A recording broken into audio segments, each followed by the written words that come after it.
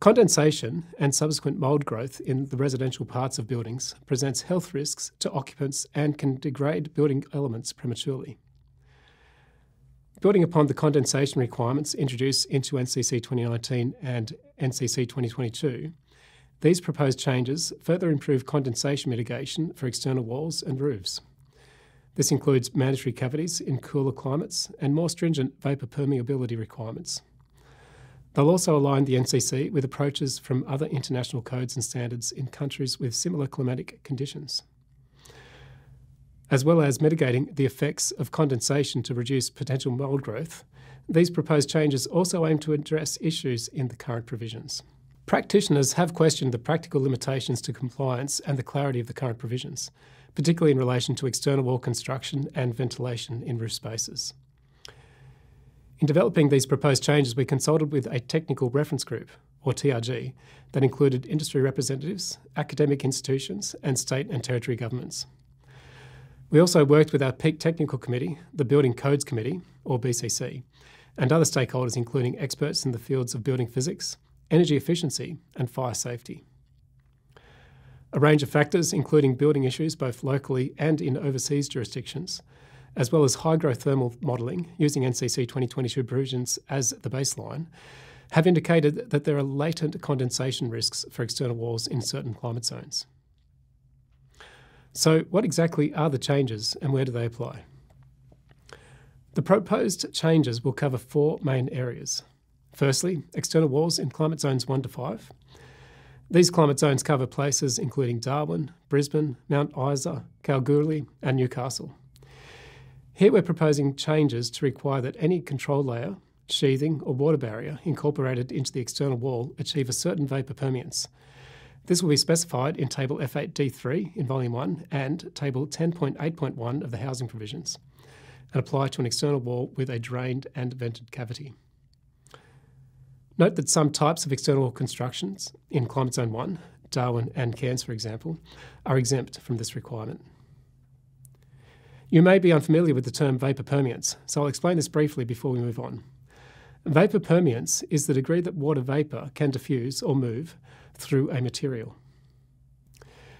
Continuing on, the second proposed change is to external walls in climate zone 6 to 8. These climate zones cover places including Melbourne, Hobart, and the Alpine regions. There are two changes proposed to the deemed to satisfy, or DTS, provisions for external walls in these climate zones.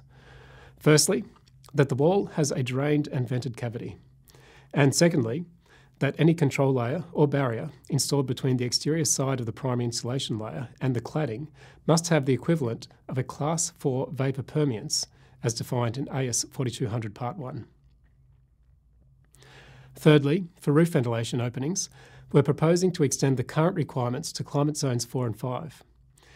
In climate zones 4 to 8, we're also proposing separate roof space ventilation requirements depending on whether the ceiling is parallel to the roof plane. For changes to 10.8.3 of the housing provisions, we're proposing to include an example of how to calculate high level and low level ventilation openings. And finally, we're proposing to extend the application of Part F8 in Volume 1 to include hotels, hostels, and the like, which are Class 3 buildings, and also aged care buildings, which are Class 9C buildings. This table outlines some of the proposed changes to the vapour permeance requirements compared to NCC 2022. In summary, NCC 2022 didn't have separate vapour permeance requirements for drained or vented cavities. For the next edition, we're proposing concessions that reduce the vapour permeance values for walls with cavities.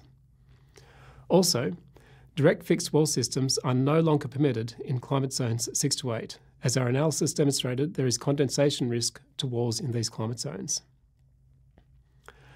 Finally, we're maintaining the current requirements for Climate Zone 4.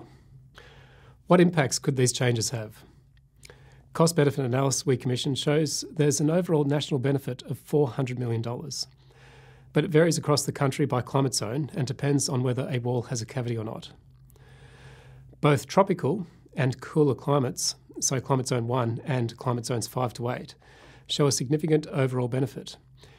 In these climate zones, walls with a drained and vented cavity show a net benefit of $217 million, while walls without a cavity show a net benefit of $500 million. In warmer areas like Brisbane and Central Australia, which are climate zones 2 to 4, the proposed changes will reduce problems, but the benefits don't outweigh the costs. The cost benefit analysis shows a net cost due to the modelling predicting a lower baseline risk. Overall, the Consultation Regulatory Impact Statement, or CRIS, shows that the increase in building construction costs would be below 1%. Aside from the financial considerations, there will also be improved protection of building elements from degradation by moisture. The proposed changes to the ventilation of roof spaces also align better with existing design and construction approaches in Australia, simplifying compliance. The proposed changes to the external wall provisions strike a balance between community expectations, technical merit, and practicality. They're also relatively easy to implement and allow practitioners some flexibility when designing and building external walls. Finally, these changes could have significant positive health benefits, as reducing occupants' exposure to mould will lead to fewer upper respiratory tract symptoms such as bronchitis and asthma. If you'd like to provide feedback on this proposed change, visit our dedicated PCD page, abcb.gov.au forward slash PCD. Here you'll find links to the draft changes for volumes 1, 2, and 3 and the housing provisions.